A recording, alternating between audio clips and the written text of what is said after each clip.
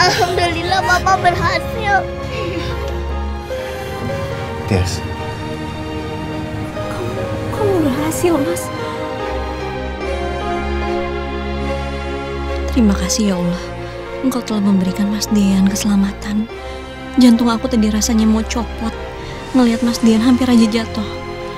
Aku benar-benar takut kehilangan Mas Dian. Semoga biang lalanya cepet nyala lagi ya.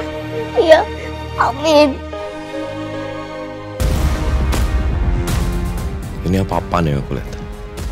Bisa-bisanya Dean meluk Tias seperti itu. Kadian, kadian pasti biang lala. rasanya saya ingin menggenggam tangan kamu dan gak mau saya lepasin lagi Tias. Aku berniat menyelakain Mbak Tias. Tapi kenapa malah Mas Dian sama Mbak Tias jadi semakin dekat?